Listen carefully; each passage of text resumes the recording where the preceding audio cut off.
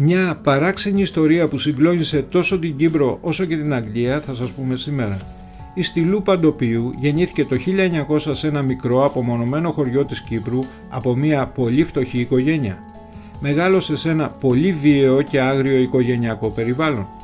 Λόγω της κακής οικονομικής κατάστασης της οικογένειάς της αναγκάστηκε από μικρή να δουλέψει στα χωράφια και έτσι δεν πήγε στο σχολείο.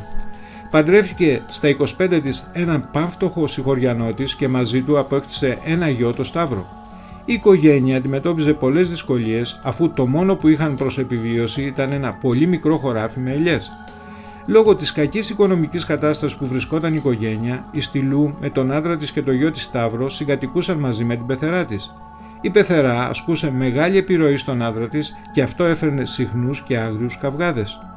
Το 1925 μετά από έναν τέτοιο μεγάλο καυγά που είχε με την πεθερά στο μυαλό της μπήκε η ιδέα να τη σκοτώσει όπως και έγινε.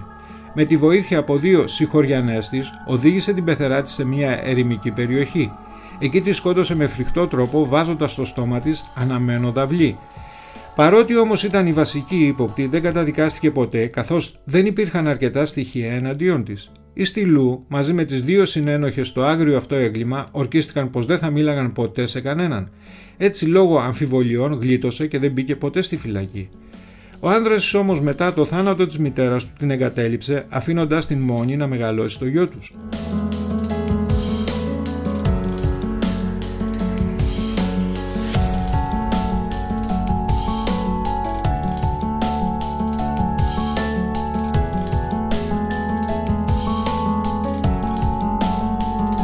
Το 1941 ο νεαρός Σταύρος έφυγε για το Λονδίνο όπου και εργάστηκε σαν σερβιτόρος στο καφέ de Paris.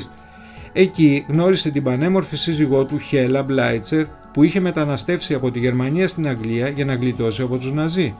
Το ζευγάρι απέκτησε τρία παιδιά. Η Στυλού που έμενε μόνη της στην Κύπρο αποφάσισε να πάει στο μονάκριβο γιο της για να τον επισκεφτεί και να γνωρίσει τα εγγόνια και την ύφη της. Ο γιος της πίστεψε ότι θα τον επισκεπτόταν για μικρό χρονικό διάστημα και θα γυρνούσε πίσω, αλλά αυτή είχε άλλα σχέδια. Το 1953 λοιπόν έφτασε στο Λονδίνο όπου δήλωσε στο γιο της πως θα μείνει για μεγάλο χρονικό διάστημα. Ο Σπεθερά τώρα πλέον άρχισε να επεμβαίνει στη ζωή του ζευγαριού με άσχημο τρόπο. Σταδιακά ξεκίνησε να αναλαμβάνει την ανατροφή των παιδιών και μετέτρεψε την ήρεμη ζωή του σε κόλαση, κυρίως της νύφης της Χέλα. Η Χέλα δεν άντεχε άλλο την κατάσταση και τον Ιούλιο του 1954 ζήτησε από τον άντρα της να τη διώξει από το σπίτι. Αυτός με σκοπό να διατηρήσει την ερεμία της οικογένειας και της γυναίκας του συμφώνησε. Έτσι ανακοίνωσε στη μητέρα την απόφαση του και της ζήτησε να γυρίσει πίσω στην Κύπρο. Η Στυλού όμως δεν μπορούσε να δεχτεί ότι ο γιος της προτιμάει περισσότερο μία ξένη γυναίκα από την ίδια του τη μάνα. Έτσι αποφάσισε να τη σκοτώσει. Στις 29 Ιουλίου του 1954 η Στυλού μαζί με τη Χέλα βρίσκονταν μόνο στο σπίτι καθώς ο γιος είχε πάει για δουλειά. Η Στυλού άρπαξε τότε ένα βαρύ μαντεμένιο δίσκο όπου έβαζαν τις τάχτες από το τζάκι και χτύπησε την ύφη της πολύ δυνατά στο κεφάλι.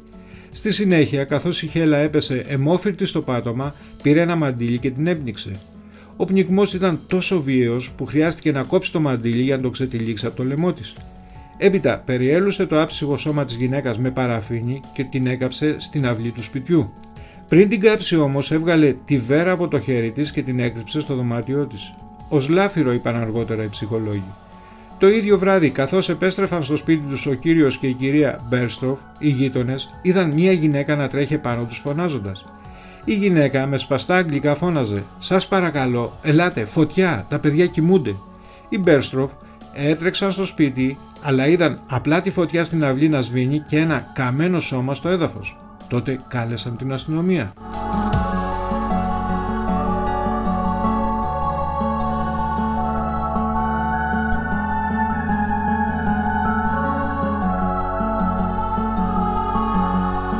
Όταν έφτασε η αστυνομία, η στυλού Παντοπίου προσπάθησε να τους πείσει πως άκουσε φωνές και κατεβαίνοντας να βοηθήσει την ύφη της, είδε κάποιον να φεύγει μέσα στο σκοτάδι αφού πρώτα της έβαλε φωτιά. Όμως η αστυνομία του Λονδίνου δεν ήταν όπως της Κύπρου. Δεν την πίστεψαν και κάνοντας αναλυτική έρευνα βρήκαν το μαντίλι στο σκουπίδο Ντενεκέ. Επίσης στο λαιμό του πτώματος τα σημάδια του πνιγμού και τέλος το κομμωδίνο της στυλού τη βέρα της Χέλα. Τον Οκτώβριο της ίδιας χρονιάς ξεκίνησε η δίκη της Στυλού. Ο γιος της προσπάθησε να τη βγάλει τρελή, αλλά εκείνη δεν το δεχόταν λέγοντας ότι «Είμαι φτωχή και αγράμματη, αλλά τρελή δεν είμαι».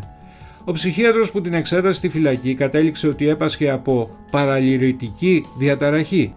Πίστευε πως η νύφη της δεν ανέτρεφε σωστά τα εγγόνια της και ότι κάποια στιγμή δεν θα της επέτρεπε να τα ξαναδεί.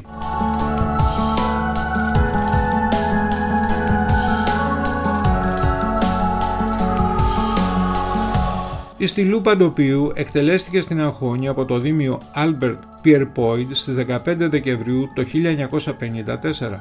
Ο γιος της δεν παραβρέθηκε στην εκτέλεση της ποινής.